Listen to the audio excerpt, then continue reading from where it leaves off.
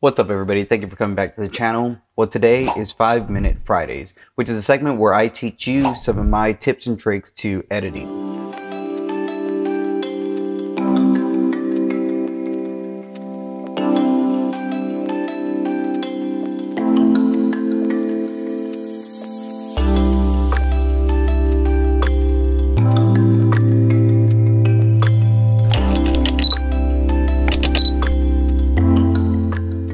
Today we're going to be talking about how I edit my drone footage on Premiere Pro.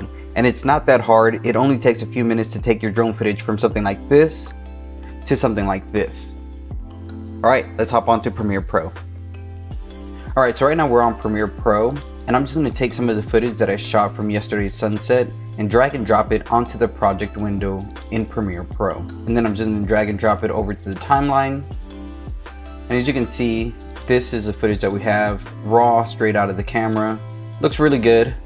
So we're gonna be taking this footage and we're just gonna be tweaking it a bit. So one of the first things you wanna do after putting your footage onto the timeline is bump up your saturation up to 150 or 165.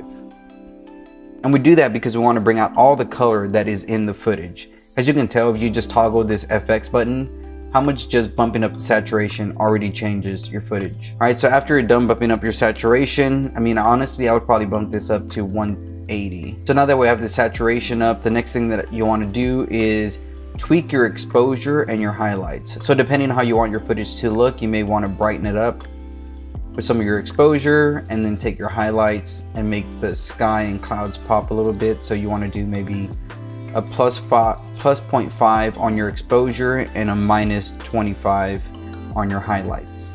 So the next thing you want to do is come down to your curves and click on RGB curves. You want to set your three dots and just create a pretty simple S curve. So you want to bring down on the bottom, kind of create that nice shadowy kind of dark color effect on the bottom. And then you want to bump it up a little bit on top and I usually kind of mess with the middle to see what the colors are looking like. I kind of like it being bumped up just a bit.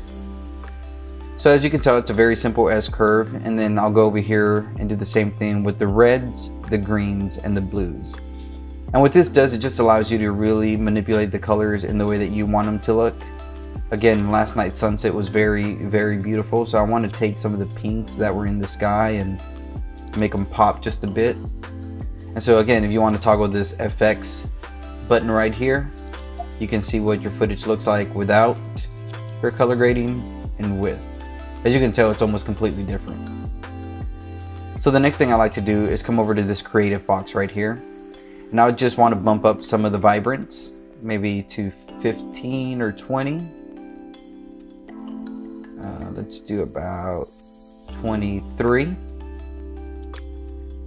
We want to sharpen it up just a tad, so I'll probably do about 7 or 10. We'll do 7 for right now.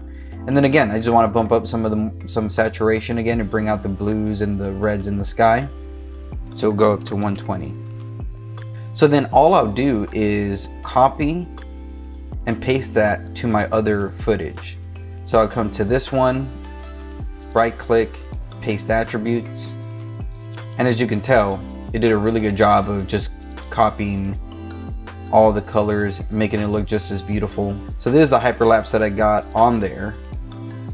And you could just, again, paste attributes, okay.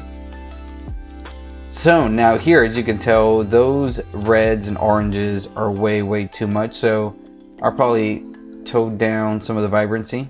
Definitely tone down the saturation. Especially for these hyperlapses. These hyperlapses are always kind of hard to get some of the colors out, but this did a tremendous job. And that's how simple it is to up your drone footage. Really, it is tweaking your saturation, tweaking your S curve, and after that, you just kind of want to mess with it, manipulate it whatever way you want it to look like. And let's say you want to edit this for Instagram Reels. So all you need to do is go over to Sequence, Sequence Settings, and type in 1080 by 1920. Okay,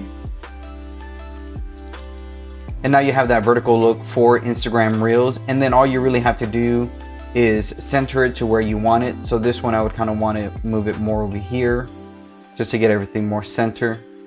And that's how easy it is, guys, to edit your drone footage. It just takes about three or four steps to take your drone footage to look plain and simple like this to nice, colorful, and vibrant like this.